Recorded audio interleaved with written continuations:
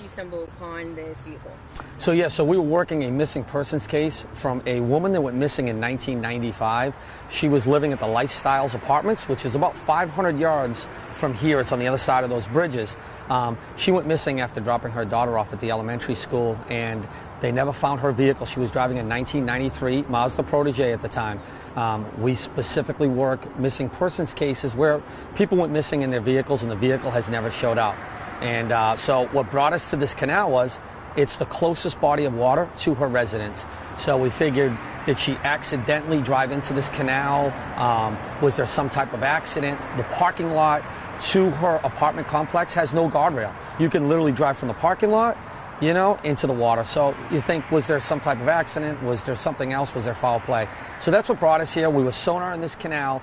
I think it was on Friday, and uh, coming up, we got a hit at 15 feet deep. And Ken from Recon Dive Recovery works with us, and uh, he dove in the vehicle and confirmed it was a early 70s uh, Chevy Vega.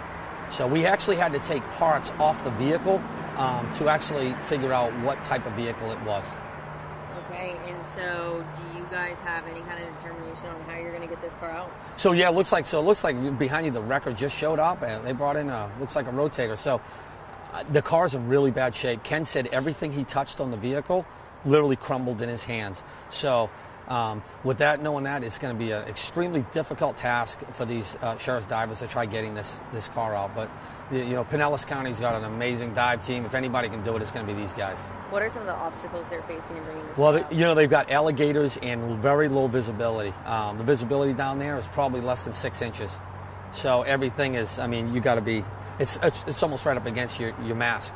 You know. And do you know how deep uh, It's the car is? yeah, it's 15 feet deep. The vehicle's and it's and it's on its wheels. So it, you know, a lot of times they flip upside down. Um, you know, depending on if they have that air pocket. We tend to find this is a station wagon, so we find tend to find station wagons, minivans, those type of vehicles because they have a large air pocket inside the vehicle. They tend to float longer than um, a smaller a smaller vehicle like a pickup truck or something like that. So most likely that's you know that's probably why this one ended up you know ended up on its wheels.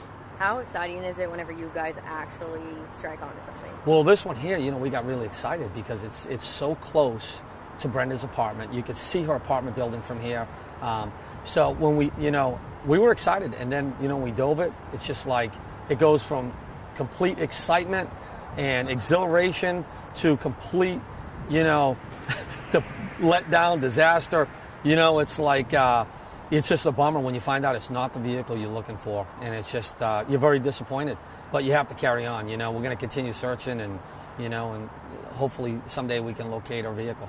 Do you know where you're going to look next? Um, yeah, we've got other bodies of water here on the north side of Pinellas County, um, not far from here, just a few miles. Uh, so we're going to start uh, poking at bodies of water up there over the next 12 months. Okay. Anything else you'd like to add? Um, no, that's that's uh, pretty much it. So, all right, good. Oh yeah, Cool. Yep, you're not taking that with you. I know. Eric would kill us. I'd be upset. yes. We might end up in the body of water. So is the, you think the Hey, car is hey. still? Uh, I, it looks like, Fact? you know what? They brought that wrecker. When I saw that wrecker show up, um, what did he say to you, by the way? This, oh, just to stand back from the wrecker. He says that they don't think that it, they're going to be able to pull it out with the tow truck. It's probably going to be in pieces because all the times that they've done stuff like this have been like that. But I mean, you never know. but did he say anything else to you? No, that guy. No. Or just Um, said stand back. yeah. Okay, just- Yeah. Yeah, he's the boss man. Everybody Mhm. fears that guy.